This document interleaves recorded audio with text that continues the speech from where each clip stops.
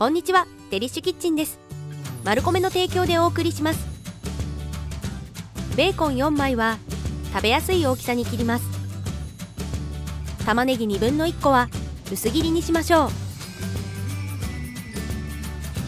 う。しめじ1パックは根元を切りほぐしておきます。フライパンにオリーブオイル大さじ1ベーコンを入れて炒め玉ねぎ。しめじを加えて玉ねぎがしんなりするまで中火で炒めます。これに水 250cc 牛乳 200cc を入れ丸米のオーガニック味噌パウダーかつお昆布だしを大さじ3加えていきましょう。混ぜ合わせたら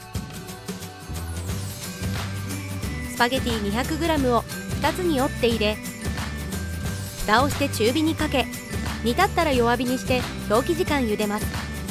様子を見ながら2回ほどスパゲティをほぐし器に盛り付けお好みで味噌パウダーを振りかけたら完成です。新発売オーガニック味噌パウダーを使ったお手軽ワンパン味噌クリームパスタ。さっと振りかけるだけで簡単お料理の幅が広がります。